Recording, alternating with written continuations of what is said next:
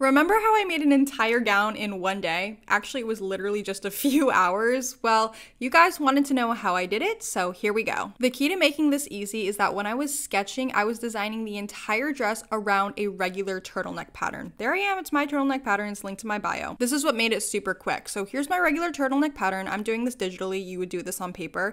All I'm doing is I'm lengthening it into a dress, widening the hem, widening the hips. So you can see the before and after there. And then for the cutouts, I'm literally just cutting out the parts of the pattern that I don't want there. You also need to be sure that you're using really stretchy fabric for this. Otherwise, it's not gonna work without having any more shaping seams. Before sewing the final dress though, of course, we need to make a prototype. Oh my God. Anyways, I saw lots of issues I need to fix. I marked those down and I made adjustments to the pattern.